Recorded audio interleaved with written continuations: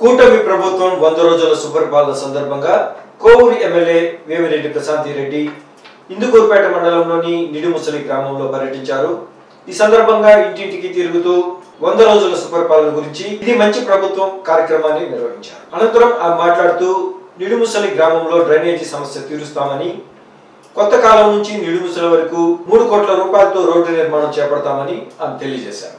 అలాగే దీపావళి నాటికి సూపర్ సిక్స్ను అమలు చేస్తామని హామీ ఇచ్చారు. ఈ కార్యక్రమంలో దువ్వూరు కళ్యాణ్ రెడ్డి సుధాకర్ రెడ్డి రాగండ్ల వీరేంద్ర నాయుడు చంద్ర కిషోర్ బాబు తదితరులు పాల్గొన్నారు.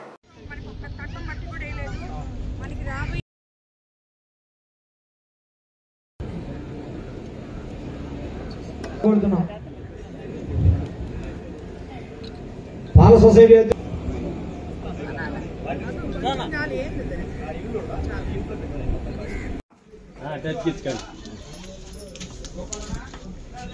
మీకు రేపు దీపావళి అప్పటి నుంచి ఫ్రీ గ్యాస్ సిలిండర్లు కూడా వస్తాయి.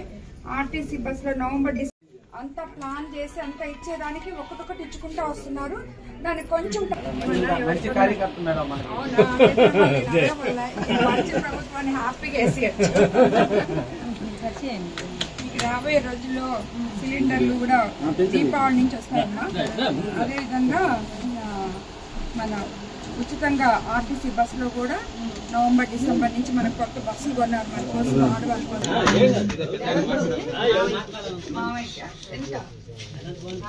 నాలుగు వేలు ఇది వరకు మూడు వేలు వచ్చేది ఇప్పుడు చంద్రబాబు నాయుడు గారు. అన్న మీకేనా? నాలుగు వేలు పెన్షన్ వచ్చేది? సంతోషమా?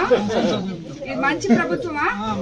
మనకి ఎన్ని ఇబ్బందులున్నా చెప్పినట్టు ఒకటో తేదీకి ఇంటికి వచ్చి నాలుగు వేలు పెన్షన్ ఇచ్చేస్తున్నారు కదా మీకు. ఇది వరకు ఐదు సంవత్సరాలు ఉంటే మనం మూడు వేలు అయింది అది. రెండు వందల యాభై రెండు వందల యాభై పెంచుతా.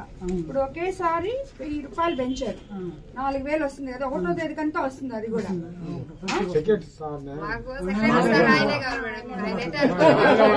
ఏమయ్యా సెక్రటరీ సార్ ఇట్లా.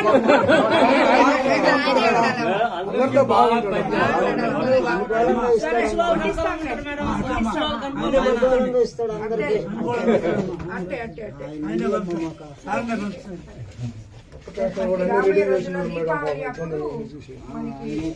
మూడు సిలిండర్లు చెప్పారు ఫ్రీగా. సిలిండర్ అప్పటి నుంచి స్టార్ట్ అవుతాయి. దాని తర్వాత ఫ్రీ బస్లో కూడా ఆర్టీసీ బస్సులో కూడా నవంబర్ డిసెంబర్ నుంచి మళ్ళీ చేస్తాం. మనకి ఏవైతే అంటే అని విన్నాం మనం. ఇప్పుడు ఇంటికి ముందు రోజు ఉన్నది అవునా కాదా? చెప్పాలి మీరే. నేను కాదు మీరు చెప్పాలి. ఇది మంచి ప్రభుత్వమా కాదా?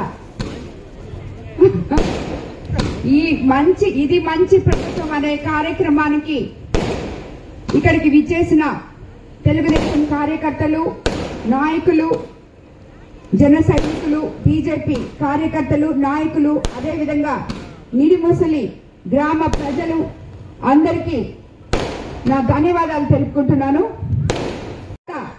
చంద్రబాబు నాయుడు గారు